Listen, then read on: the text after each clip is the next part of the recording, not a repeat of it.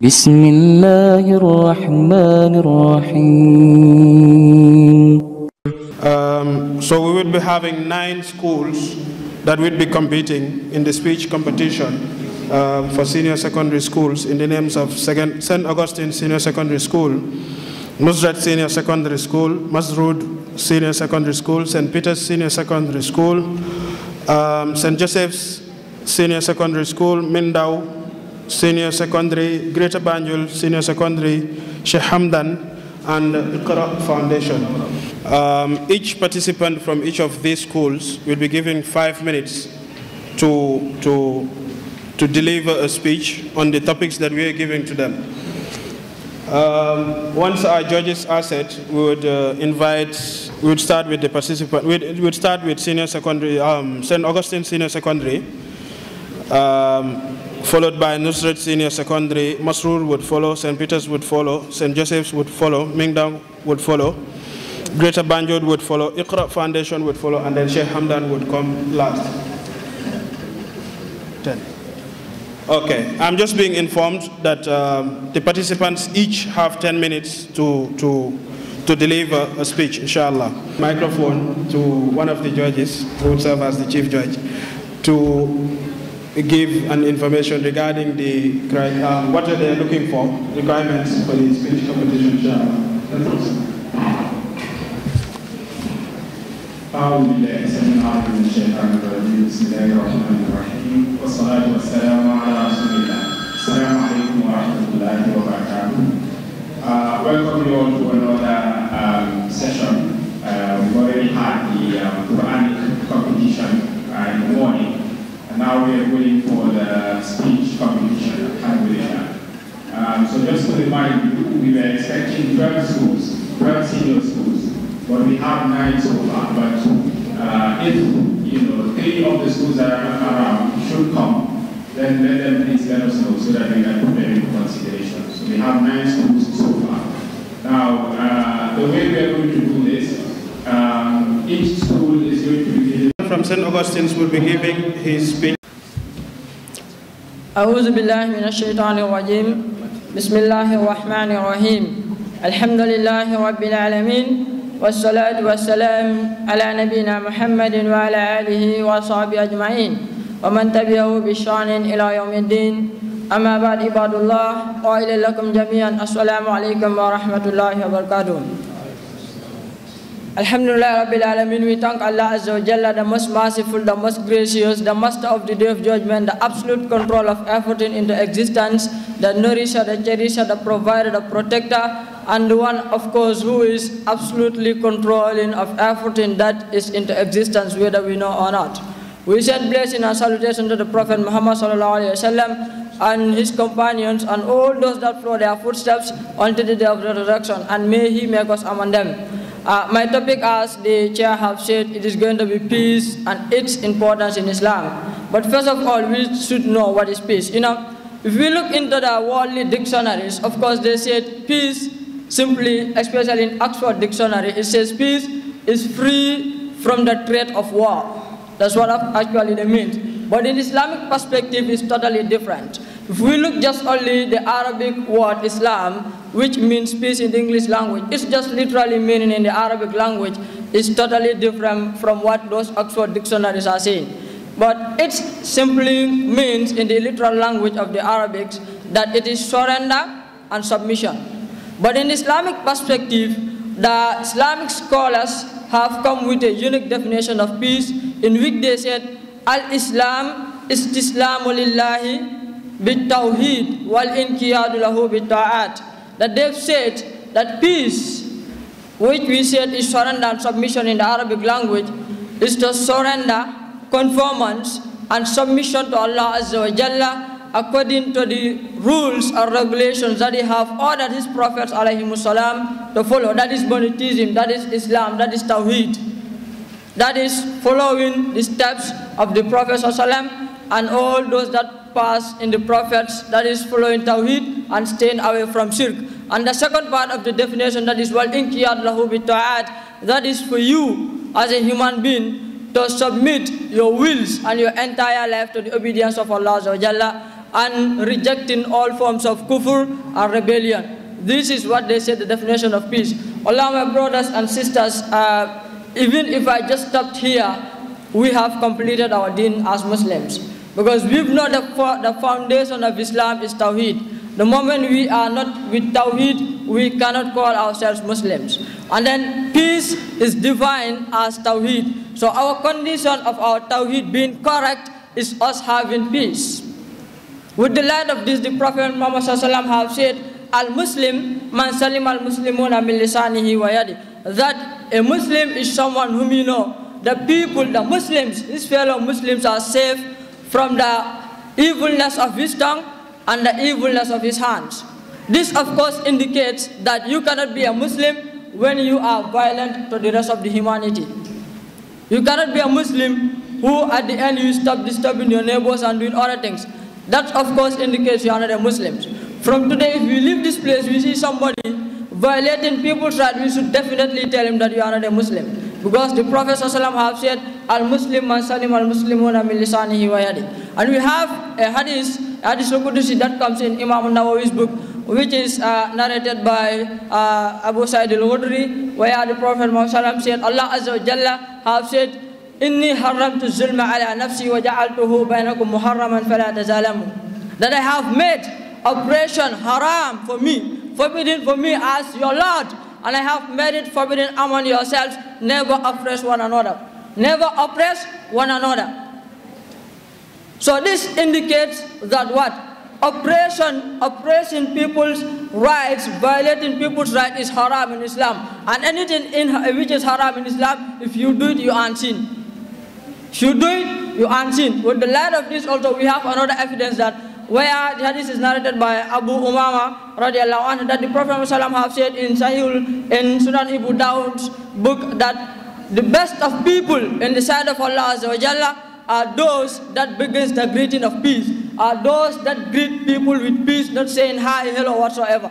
But those that say Assalamu alaikum, that they pray peace for people. And Aisha radiallahu anha narrated in the book of Sahih, uh, Sahih Bukhari that uh, the Prophet have said that the worst of people in the sight of Allah are the quarrelsome, are the people that they cause havoc and violence on the face of earth. They are the worst people in the sight of Allah.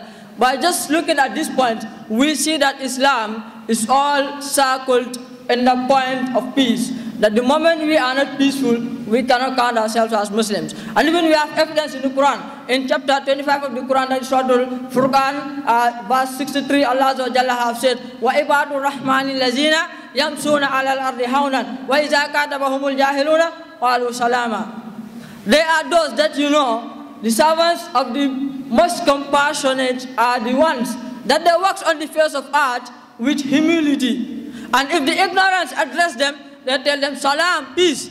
We are not people of violence. We only know peace. Our religion is peace. We work on peace in order for us to be Muslims. So we don't have violence. They walk away. They are, the, they are called the servants of Allah Azza Jalla. And all of us, if we want to go to Jannah, we need to be servants of Allah Azza Jalla. And from today, we should put this in the back of our mind, that if we want to be servants of Allah Azza Jalla, that we need to be peaceful. And even we have evidence that you cannot go to Jannah, we are not peaceful. Then this is narrated by Abu Hurairah He said, the Prophet Muhammad have said in the book of Sahih Muslim that you will not go to Jannah until you believe. And you will not believe until you love each other. And shall I tell you something? If you are to do it, you will love one another. And that is spread peace among yourselves. So my brothers and sisters, we've just seen by just these few hadiths that we cannot achieve nothing in Islam when we are not peaceful. So peace is the number one thing in Islam. Even if your tawheed will be correct in Islam, you need to be peaceful. You need to make sure that you have peace. You need to make sure that people are safe from your evilness. And we have a short story about that woman that the Prophet was told about. That this woman is somebody who, you know, she has done a lot of deeds. She pray, she do tahajjud, she, she do so many things. But she has only one problem. And that problem is what? Is she violate the rights of her neighbors. And the Prophet said, in the half in now, she's in hellfire, it's not like she will go to hellfire. So the condition of us, our deeds, being saved until we go to Jannah with them is when we are peaceful. And Allah have said also in chapter 5, that is Surah Al-Ma'idah, verse 32 of that surah, uh, من أجل ذلك كتبنا على بنو إسرائيل من قتل نفسا بغير نفس أو فساد في الأرض فكأنما قتل الناس جميعا ومن أحياها فكأنما أحيا الناس جميعا that we've prescribed for upon Banu Israel that if somebody kills an innocent soul or the person cause violence and uh, and the person cause violence on the face of earth, that the person uh, do fasad on the face of earth is as if the person have killed entire humanity. Can we imagine that you just disturbing people, disturbing the creation of Allah Azza is as if you have killed the entire creation. So we have seen how peace is important. And if you just could able to save one person from punishment or from having some harm on the face of earth, is as if you have saved entire humanity. This is how valid peace is in Islam. This is how important peace is in Islam. My brothers and sisters, today I want us to put this at the back of our mind. We are Muslims when we are peaceful. The moment we are out of peace, we are no more Muslims. And we have so many evidence that peace is the most important part of Islam. We have a hadith where the Prophet Muhammad said that, do you know something that is more important than charity, more important than zakat, and more important than prayer? Rasulullah said, spread peace among yourselves. Okay, uh, I'm having just two minutes. Huh? Okay, so Rasulullah said is for you what? For you to keep peace among yourselves because quarrelsome and bad feelings destroy humankind. So even the salah that we do, even the charity that we give out, and even the fasting that we are fasting right now, the most important of this in Islam is peace. And these are pillars of Islam, am I right? They are pillars of Islam. But peace is far important than them because, the, because it is the fundamental thing of Islam. The moment you do not have it, you cannot have Islam. So I will conclude by saying, let's go home with this. Lisanihi al muslim man salim al muslimuna min lisanihi wa yadi. Assalamu alaikum wa rahmatullahi wa barakatuh. Akhiru dawana alhamdulillah rabbil alamin. to football betting. Football betting centers can be seen everywhere in Gambia. What are the effects of gambling and how can, it, can the Gambia avoid them? The question, the, the topic is uh, what are the effects of gambling and how can the Gambia avoid them? Bismillah. أعوذ بالله من الشيطان الرجيم. بسم الله الرحمن الرحيم. الحمد لله رب العالمين. صلى الله وسلم وبارك على المبعوث رحمة للعالمين. نبينا محمد وعلى آله وصحبه ومن اهتدى بهديه وسن بسنته إلى يوم الدين. السلام عليكم ورحمة الله وبركاته. Brothers and sisters, I greet my honorable judges, uh, audience, and my fellow speakers.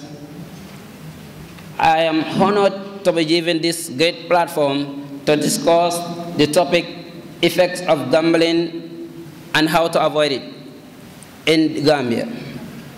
First, what is gambling? Gambling, it literally means game or playing games of chance with the hope of winning. Literally, this is what it means. You play game of chance with the hope of winning. Therefore, pertaining the word gambling and what it literally means, it is banned, prohibited in Islam. Our religion prohibited all type of gambling.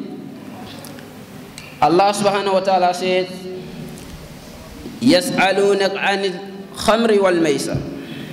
They ask you concerning intoxicants and gambling. Maisir is an Arabic term referring to gambling. It is from the word yusr. It means ease. You get something out of no labor, no work. You get it free due to having or earning it unlawfully. Therefore, Allah subhanahu wa ta'ala says, يسألونك عن الميس عن الخمر والميسر قل فيهما إثم خبير ومنافع للناس وإثمهما أخبر من نفعهما He says, say, in them are great sin, great sin. Ithmun kabir. It is the only phrase used, Ithmun kabir is only used for gambling and intoxicants. Look how Allah combined it here. Gambling, a great deed. Allah says, Ithmun khabir, wa but yet it has some benefit for me. Oh, look, the great benefits. You become famous by playing gamble. You earn money without labor. You earn a lot of living fast with just little amount of time. But with all that, Allah says, وَإِثْمُهُمَا أَخْبَرُ مِنْ نَفْئِهِمَا أَكْبَرُ مِنْ نَفْئِهِمَا Their sin, their abomination is greater than their benefit. How? How comes? With all these things, I earn a lot of things, become famous, but still, Allah says, its sin is greater than the benefits of it. Why? Listen to Allah subhanahu wa ta'ala. Says, Ya ayyuha ladhina amanu innama al-khamr wal-maysar wal-ansab wal-azlam rijzun min amal shaitan la la'allakum tuflihun. It says, these intoxicants, these gambling, and the stones used for sacrifices these altars, and then Islam, the divining arrows, they are all what? Abomination, min amal shaitan, from the work of Satan. Allahu Akbar. Look, from what type of things did Allah join gambling with? Riches, riches, abomination, a great abomination. Only for this is sufficient for it to be haram. But do you know why? With all this great benefit it has, two things overshadow all that benefits. Two things outweigh that benefit. And what is that? It affects your mind and your religion. Everything that affects the mind and the religion is totally prohibited. Last says, إنما يريد الشيطان أن يعقي بينكم أن يوقع بينكم العداوة والبغضاء في الخمر والميسر. Allah says, indeed, Satan wants to put animosity, enmity with you, to put enmity between you people, والبغضاء and hatred في الخمر والميسر. So, these are the effects. Why Islam prohibited it. One, the previous verse, Allah says, لَعَلَّكُمْ تُفْلِحُونَ If you want to be successful. Meaning, if you indulge in it, you will not be successful. Right? Our Sheikh made mention here that Islam is about going forward, not backward. How do you go forward? Being succeed on what, you know, what your aim is, your objectives. Therefore, in order to be successful, you will live, avoid it. لعلكم تفلحون then if you indulge in it you become not, you, you're not successful that is one effect second hatred and, animal, and animosity enmity between you what does enmity and hatred lead to bloodshed killing one another no helping jealousy and all sort of evils Allah says but all those things deal with the mind and perhaps physically. The great thing that deals with your religion, the great thing that deal with your religion, وَيَصَدَّكُمْ عَنْ ذِكْرِ اللَّهِ وَعَنِ الصَّلَاةِ فَهَلْ أَنْتُمْ مُنْتَهُونَ أَمْتَحْنَا يَا رَبِّي Says, this, it avoids you, it refrain you from the remembrance of Allah subhanahu wa ta'ala. Allah. The Prophet says, the likeness of the one who remembers Allah and the likeness of the one who forgot about his Lord is like the dead and the living. Wallah, when you play gambling, it's like you are dead. Swan. It refrain you from the remembrance of Allah. And the biggest of it, wa salah, and from prayer. You do not pray. You neglect, you neglect your obligatory acts because you are just thinking of the gambling loss that you get and how to make profit out of it, earning unlawful, unlawful earnings. So these are some of the effects that gambling can lead to. Now, uh, statisticians have given that this year, almost 30% of the world problems, 30% of the world crimes in America is as a result of gambling. More than 1,631 people died every year out of gambling.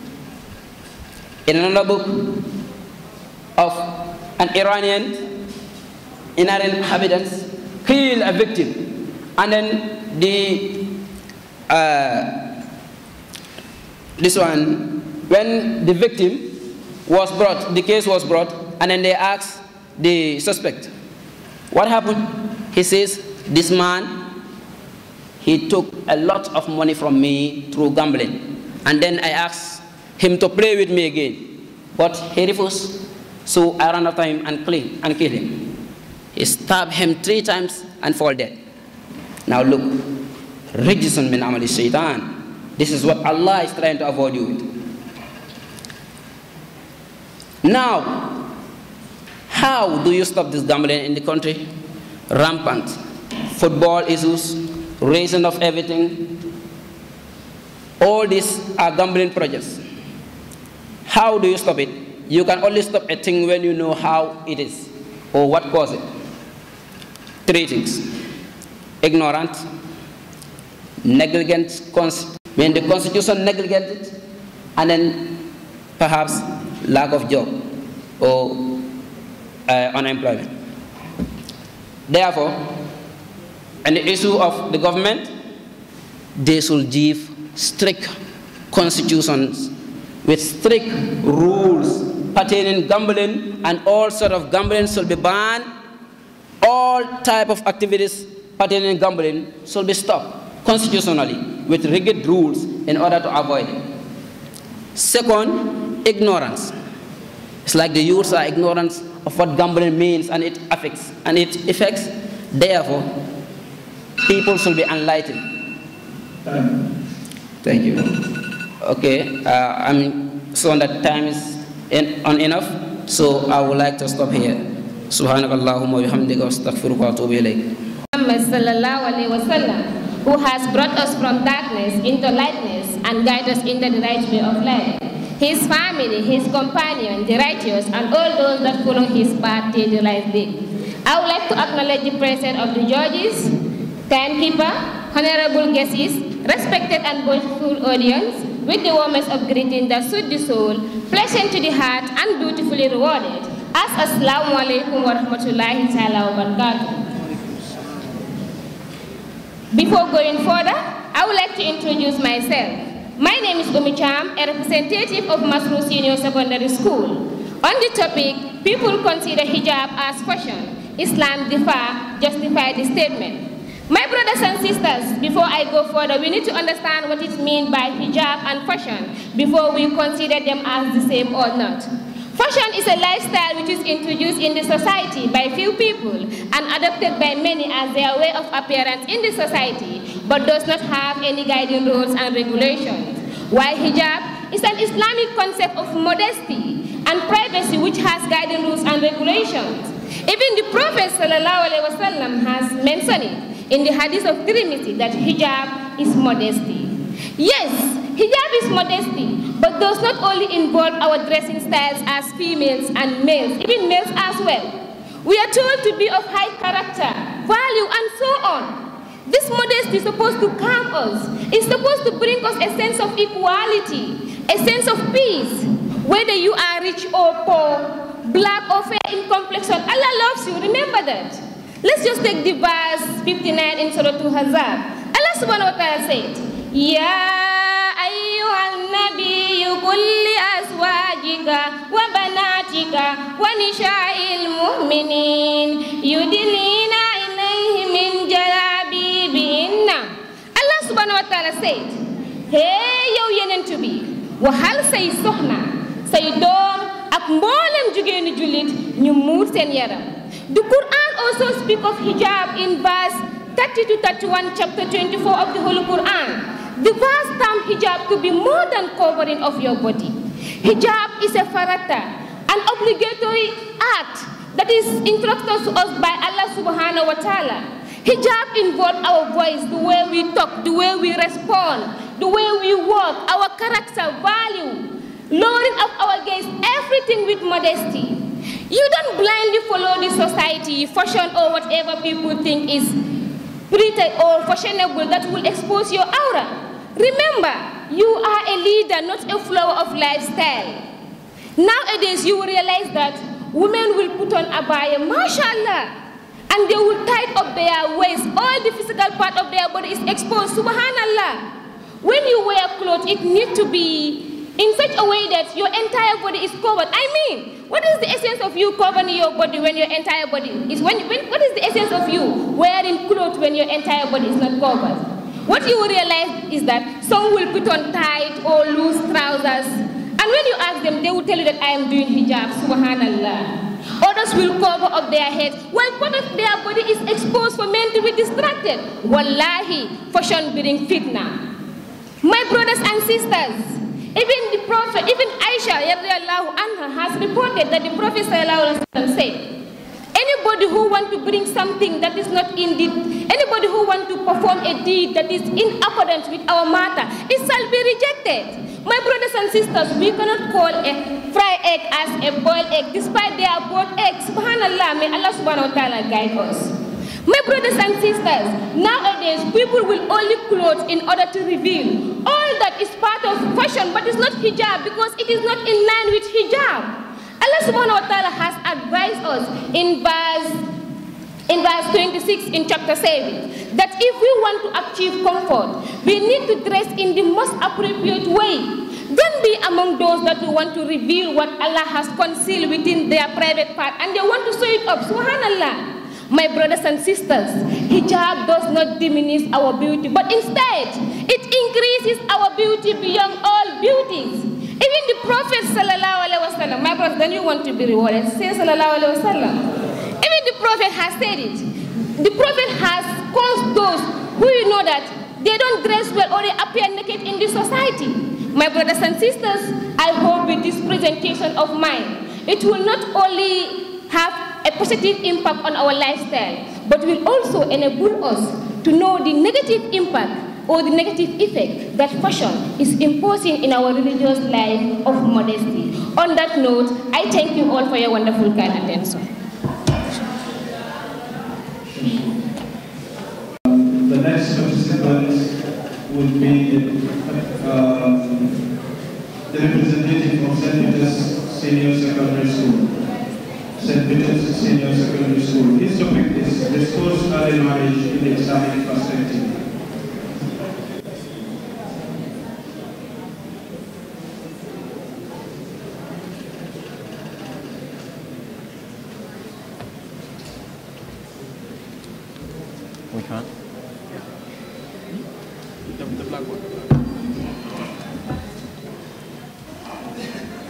Assalamu alaikum wa rahmatullahi wa barakatuh.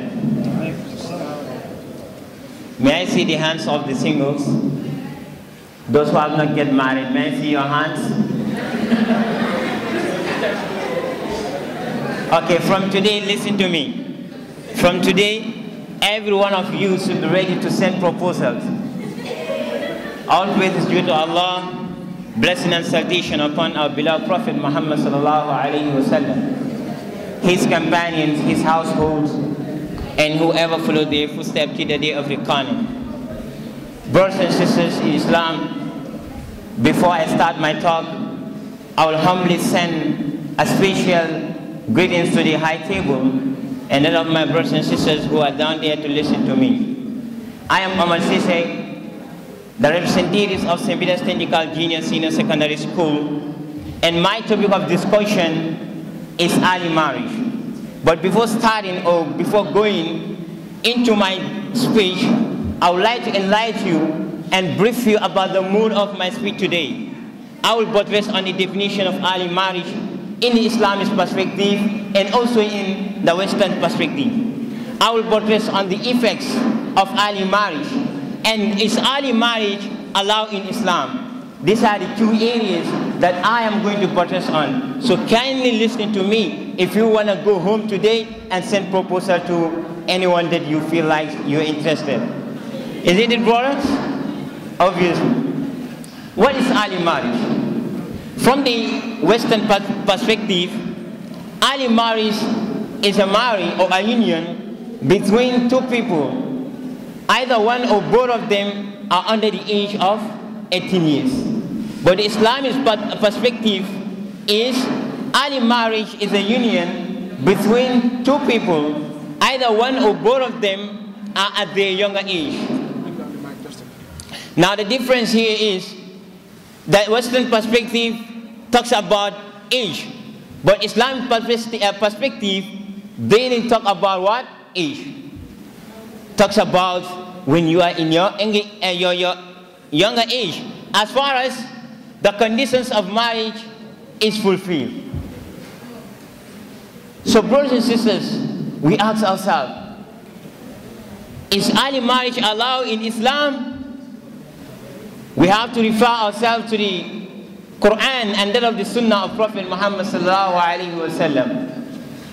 Allah says in the glorious Quran, chapter 65, verse 4, واللائي يئسن من المحيض من نسائكم إن ارتبتم فعدتهن ثلاثة أشهر واللائي لم يحض وأولاة الأحمال أجلهن أن يضعن أملهن ومن يتق الله يجعل له من أمره يسرا In this verse, Allah is telling the women whom you know that they have doubts in their men's period or they have doubts in their iddah. Allah said, tell them, tell them it is three months. And even those who have not seen their menses. So the scholars refer this verse to be an, uh, um, an, a source or to be something that is supporting early marriage. Because it says even those who don't see their menses. So therefore, the younger ones are already given the rules or the settings of marriage in the Quran. And Allah also said in, in the Quran, in the glorious Quran, Allah says, chapter 4, verse 3, وَإِن, وَإِن خِفْتُمْ أَلَّا تُقْسِطُوا فِي الْيَتَامَى فانكحوا ما طاب لكم من النساء مثنى وثلاث ورباع If you know that you will not be justice to the orphan girls, marry women of your choice in twos in three, and in four. The, interpre the interpretation of this verse by our beloved mother Aisha when she was asked by her nephew. Allah revealed this verse to those whom you know that they are interested to get married to their orphan girls, but they treat them badly. Allah says they are forbidden to marry those, those orphan girls. But those who treat them goodly, they can get married to them because of their beauty, because of their property. So my point of view here, brothers and sisters, is that who is an orphan? Who is an orphan? An orphan is a person on the age. Therefore, it is a verse supporting early marriage. We refer ourselves to the Sunnah of Prophet Muhammad sallallahu or to the Hadith of Prophet Muhammad sallallahu which was reported by Abdullah in Al-Bukhari and Muslim. He says, "Ya معشر الشباب من استطاع منكم البعد فليتزوج الله أكبر Prophet says, Oh you the young man, if you can afford to get married, marry then I'm telling you, brothers and sisters, today, you can afford to get married, then marry. What are the good effects of early marriage? It preserves your chastity and it completes half of your iman at that younger age. The second thing is, if you want to have the love of Allah, Allah says what? Get married. So if you want to have the love of Allah at your, at your, your younger age, then get married early. We refer ourselves to the Quran. Allah says in chapter 30, verse 21, among his signs that he created from us wives so that we can be with them in tranquility. And he continued and say what? He, Allah, is going to shower His love and His mercy upon you. So if you want to get the mercy of Allah and the love of Allah at that, at, at, an, at, at a younger age, brothers and sisters, we have to get married early. It is also part of the good effects of early marriage, protection of protection, the protection, it protects you from the sexual temptations. Today in our society, everywhere we are, especially in our schools, we mingle with the brothers and sisters, we mingle together. Now you see a girl that you are very interested. Oh brother, before you die with that temptation, get ready to get married. Talk to him, talk to her, go to, go to the parents, and you get married. If not that temptation, if not that temptation will result to something that you will not like. So therefore, if you want to make an end to that temptation, you have to get married. And the last effects or good effects of early marriage, Prophet Sallallahu Alaihi says, he is going to be very proud to see his ummah on the day of judgment to be the largest. Then one of the effects of early marriage is to have what many people or the ummah of Prophet Muhammad to be increased. What are the bad effects of early marriage, brothers and sisters? When we talk about the bad, the bad effects of early marriage, we talk about things that you know that if early marriage is not done, they will come to destroy our society and they will come and, and demolish our society. What are those things? First of all, brothers and sisters, zina. Zina will be rampant in the society. And what did Allah say in the Quran about zina? Allah said in chapter 17, verse 32, وَلَا تَقْرَبُوا الزِّنَا إِنَّهُ كَانَ فَاحِشَةً وَسَاءَ سَبِيلًا Allah said, do not be near to zina because it is immoral. Because it is an evil way. Then if you want to make end to zina, brothers and sisters, we have to get married. The other good and bad effects of early marriage, brothers and sisters, it leads or increase the stress level of the youths. Today, many youths are stressed. They say they aren't going for work. They say they aren't going, they aren't ready to work. They are frustrated because of what? They are not married. Hadn't been, wallahi, when you go home, a wife will come and say, brother, where's the fish money? Will you have that time to stress? Obviously, you don't have that time to stress. You will be responsible, and that is going to teach you or show you something in your life. The last bad effects of early marriage, brothers and sisters, the last of it, it leads to mass failure in schools, especially in tertiary schools or in secondary schools. Because of the saying of the philosophers, that a married man is an happy man. So if you want to be happy, if you want to have that comfort, if you want to have a stable mind, what should you do? You should get married so that you can pass your exam. Because it is going to, wallah, it is going to affect your brothers and sisters. Let's say in a class, I'm with a sister that I'm very interested. I like this sister. When she talks, it comes to. So therefore, we are going to end here and say, وآخر دعوانا أن الحمد لله رب العالمين.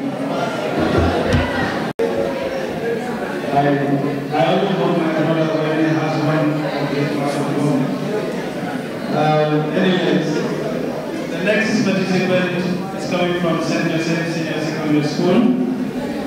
Um, St. Joseph Senior Secondary. The participant will be talking on the topic um, Islamic religious, religious tolerance. this statement from Quran and Sunnah.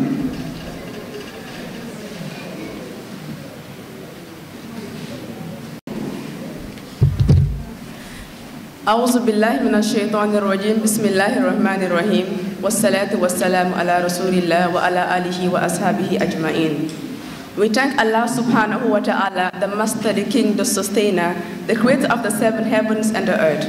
And we send peace and blessings peace and blessings upon the Prophet Muhammad sallallahu alaihi wasallam. And we ask Allah subhanahu wa ta'ala to bless his companions. And we ask Allah subhanahu wa ta'ala to bless each and every one of us present here. My dear brothers and sisters in Islam, today our topic of discussion is religious tolerance. What is religious tolerance? First of all, many people have different ways of defining it, but we need to know that the most important thing is that religious tolerance simply means the freedom of religion. Thus, Islam encourages the freedom of religion. That is our topic today. The answer for that question is yes. Islam encourages freedom of religion. How does it encourage it? What are the evidences? We have to go and look at the Quranic point of view. But before going to that, let, let us go and look at the role of the prophets of Allah subhanahu wa ta'ala. The prophets of Allah subhanahu wa ta'ala, starting from Adam alayhi salam to the last prophet Muhammad sallallahu alayhi wa wasallam. I have this question. When they were calling people towards Islam, did they force anyone to accept Islam? The answer is no, they didn't force anyone to accept Islam. And I have another question again. The prophets of Allah subhanahu wa ta'ala, when they were calling people towards Islam, they, they should embrace Islam, did they use sword or did they use any other instrument and was telling them that if you don't accept Islam, we are going to kill you? No, they did not force anyone to accept Islam. Because Allah subhanahu wa ta'ala said in Surah Ma'idah, verse 99, and for my messengers, their duty is just to deliver the message. They don't have the right to force anyone, they are just there to deliver the message. So once the Prophet of Allah subhanahu wa ta'ala, the people of Mecca, they told him, Ya Muhammad, if you want us to stop worshipping these idols, then why is it that your God is not allowed, is not forcefully preventing us from worshipping these idols? Because you said that Islam is the true religion. So why is it that your God is not forcefully preventing us from worshipping these idols? Then Allah subhanahu wa ta'ala revealed the following verses to the Prophet sallallahu alayhi wasallam. He told him, Ya Rasulullah, O Muhammad, this new this excuse is not a new excuse. Why? Because the people before them have said the, the, same excuse. So therefore, you are just there to deliver the message. This new excuse that they are telling you, it has been said by many people before them. So therefore, you are just there to deliver the message. And then in another surah, in another verse, Surah Ash-Shura, verse 48, Allah subhanahu wa ta'ala told the Prophet sallallahu alayhi wasallam, he told him, Ya Muhammad, if you call your people towards Islam and they turn, the, they turn their back, you call them towards Islam and they don't, they, they don't um, embrace Islam, they turn their back, then do not be sad and do not feel sad. Why? Because you are just there to deliver the message. You are not sent as a guardian over them. You are just there to deliver the message. And in Surah Baqarah verse 256, Allah subhanahu wa ta'ala said that the religion of Allah subhanahu wa ta'ala, the religion of Islam, is not forced on anyone. Therefore, we all have, we can, we can worship the religion that we want. Islam encourages you, it allows people to worship the religion that they want. Even though Islam is the true religion, is the haq, but no, Islam said that you can worship the religion that you want if you don't want to embrace Islam, right? And then there was a mission that the Prophet ﷺ, he was calling the people of Mecca towards Islam. And then he, wrote, he read a very short surah to them. He told them, Kul ya ayyuhal kafirun. O you who do not believe, I will not worship what you worship. And you will not worship what I worship. And I will not be worshippers of what you worship, nor will you be worshippers of what I worship. Lakum dinukum waliyadin. Which you is your religion, and for me is my religion. This surah talks about the freedom of religion. Therefore, Islam encourages, it allows the freedom of religion. Even though Islam is the haq, but it allows you to, to, um, to worship other religion if you don't want to choose Islam. Therefore, let's all, we are all um, members of uh, Islam, and we are all Muslims. You might be, uh, you know, keeping people or trying to call people towards Islam and they will turn their back. But no, do not feel saddened that you are just there to deliver the message. Islam allows religion, uh, religious tolerance. Therefore, this is all I have for you, and I hope you all, uh, thank you all for your kind attention. Subhanaka Allahumma wa bihamdik, ashadu an la ilaha illa anta astaghfiruka wa atubu ilayk.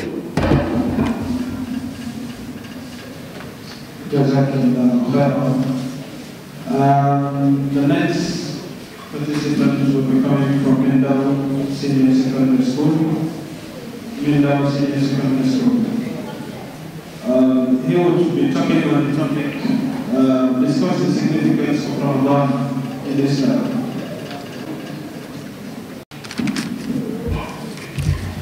Assalamu alaikum wa rahmatullahi wa barakatuh.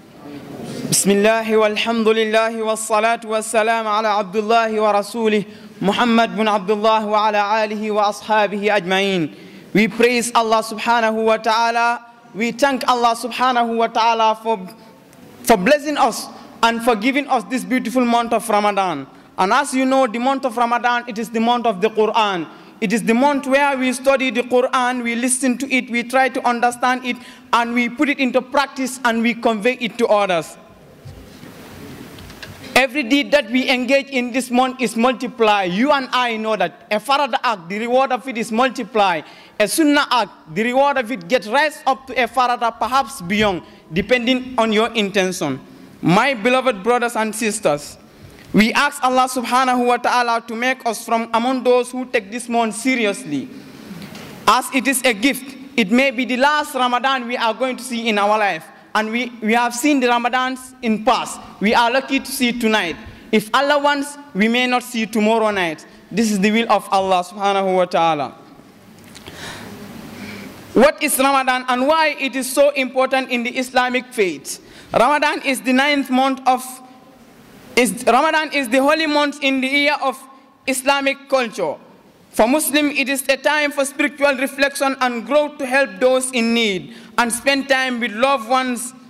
And it is also a time when Muslims around the world fast during daylight hours for the whole month. Ramadan is the ninth month in the Muslims' lunar calendar. Muslims, uh, Muslims observe this sacred month of the, Ramadan, of the Ramadan to mark when when Allah subhanahu wa ta'ala sent an angel to Prophet Muhammad, usually done by all Muslims except those who are sick, pregnant, lactating, menstruating, elderly, or traveling. If you, if you miss fasting days, you can make up for them throughout the year. Allah says that the night of power is better than a thousand of months. 1,000 months equal to 83 years and 4 months. Arabs felt that a person in his 80s become devoted and pious by worship all his life. But the worship during the night of power is better than the worship over 80 years, 80 years continuous submission to Allah. Aisha radiallahu ta'ala asked the Prophet Muhammad sallallahu alayhi wasallam, what shall I do if I happen to see this night of power? The Prophet Muhammad sallallahu alayhi wasallam said to her, make this dua, Allahumma innaka afoon tuhibbul afwa fa'fu anna. Oh Allah, you are indeed forgiving and you love to forgive. Please forgive us too. Please forgive us too. I pray that Allah guide us according to the Quran and the Sunnah and keep us in His right path and in His true path too. I mean, I thank you all for your kind attention. Assalamu alaikum wa rahmatullah.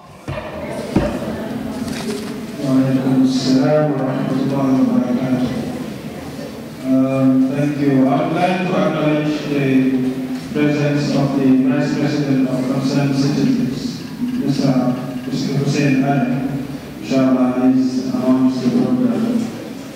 Um, next would be a participant from Banjul Senior Secondary School. Banjul Senior Secondary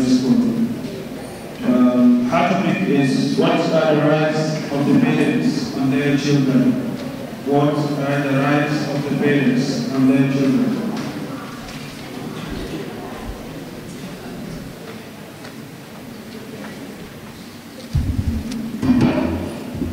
Assalamu alaikum wa rahmatullahi wa barakatuh. It is indeed a singular honor and profound gratitude to be granted this opportunity to present my school. Kadi Balajo, a student from Greater Banjul Senior Secondary School. My topic of discussion is the right of parents on their children. Firstly, Muslim children are considered as a precious gift from Almighty Allah. They are loved immensely by their parents and they become fondness of the family. But children should be aware of the rights and responsibility of their parents. Allah has mentioned in the Holy Quran, Surah Al-Baqarah, verse 233, Mothers may breastfeed their children two complete years for whoever wishes to complete the nursing period. And upon the father is the mother's provision, and they are clothing according to what is acceptable. It is the right of a parent to take care of his child. Yes. One responsibility of a parent is to make sure the child is educated. Parents should make sure the child is happy, honest, disciplined, and religious, and has knowledge in Islam. Irrespective of the fact that they might be boys or girls.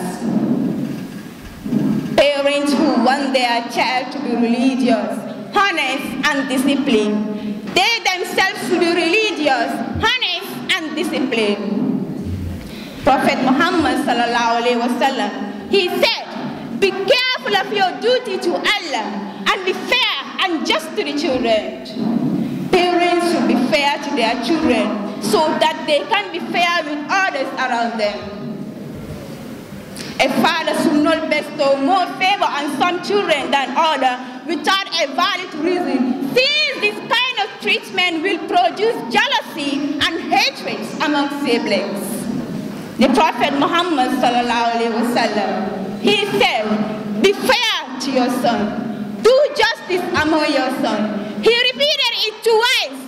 Allah subhanahu wa ta'ala has promised us that He will never change a person's condition until the person changes himself or herself. Parents should be respectful if they want their children to be respectful because a child does what he sees. One his responsibility of a parent is to teach the child a good manner. The Prophet Muhammad wasallam, he said, a father cannot do anything to his child better than manners. It is the responsibility of a parent to teach the child how to greet people, how to sit, how to drink, and so on. It is the responsibility of a parent to circumcise a male child with his convenience. It is also a responsibility of a parent to provide good environment for their children so that they feel they are secure and loved. Prophet Muhammad sallallahu alaihi wasallam, he said, who don't show respect to others, respect will never be shown to them. They should be taught how to treat people the same way they would like to be treated, and that is by having good manners and good habits. Because Allah subhanahu wa ta'ala dislikes people with bad manners and bad habits. The Prophet Muhammad sallallahu alaihi wasallam, he said, among the virtue and habit they should develop is the habit of being honest and thankfulness, helpful and considerate, without being on their behavior of others. And a habit of being clean, neat and tidy, so that they could look after themselves when they are older. Parents should send their children to modern madrasa with an interrogated curriculum which will give the child guidance to be a good Muslim. Yes, parents have a big role to play. May Allah subhanahu wa ta'ala protect them. Parents should make so the child to read the Quran well and has a good knowledge in Islam. Yes. Children should develop the taste of knowledge through by listening, observing, reading, and interaction with others. Parents should teach their children to know how to read the Holy Quran and Hadith an early age so that they develop the love and it when they are older. They should taught them good moral, good character, good Islamic knowledge, and proper Islamic behavior. I thank you all for your kind attention. Uh, we would like to call on the participant from Ikra Foundation, China. Ikra Foundation.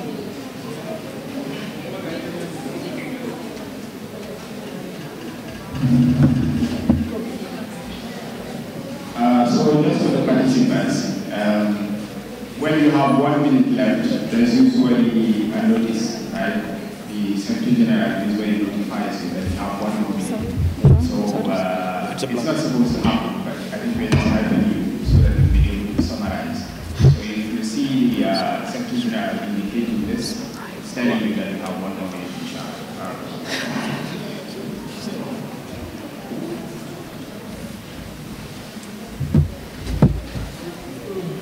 أعوذ بالله من الشيطان الرجيم بسم الله الرحمن الرحيم After praising Allah subhanahu wa ta'ala, the creator of all creatures, master of the day of judgment, and the king of all kings, and sending blessings and salutations upon Muhammad sallallahu alayhi wa sallam, Assalamu alaikum wa rahmatullahi wa barakatuh. إن الحمد لله نحمده ونستعينه ونستغفر ونعوذ بالله من سرور أنفسنا ومن سيئات أعمالنا من يهده الله فلا مضل له ومن يضلل فلا هادي له وأشهد لا إله إلا الله وحده لا شريك له وأشهد أن محمدا عبده ورسوله الحمد لله we thank Allah for this opportunity. We thank Allah for this day, and we thank Allah for this platform. So today, I'm going to give a speech on the importance of Sunnah. I want you to pay keen attention to this. When I say the importance of Sunnah, it means there is a central thing that we are looking at. And this central person we are looking at is none other than Muhammad sallallahu alaihi wasallam. Muhammad sallallahu alaihi wasallam is not just any man. He is our Rasul. He is our guidance. He is not just our guidance, but Muhammad wasallam taught us whatever we are supposed to do in every matter of life. Sunnah is basically here to go to Jahannam and follow. You have to just follow the footsteps. That is what you are commanded to do. And also, there's a part, um, basically, where people who do not follow Sunnah are like people who, who become the puppets of Satan. Being a puppet is basically like being pampered, being uh, I really want to commend every member organizing this program today. Alhamdulillah, it has been organized in the holy month of Ramadan. We all know that this is the month that the Holy Quran itself was revealed. When Allah says, Inna anzalnahu fi laylatil qadri. Wama adraka ma laylatul qadri to the end of the, this, the, the surah, Allah says, we have indeed revealed this message on the night of power.